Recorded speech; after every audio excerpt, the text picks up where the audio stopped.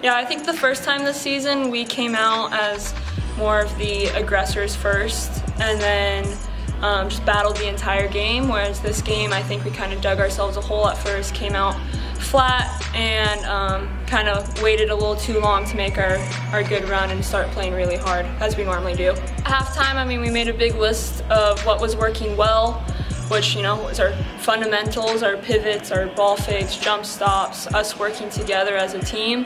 And then, you know, we looked at what we weren't doing well. We weren't crashing the O boards well, and our spacing wasn't great. Just weren't executing. So I think that was our biggest halftime adjustment was working on our spacing and our fundamentals and uh, playing more cohesive.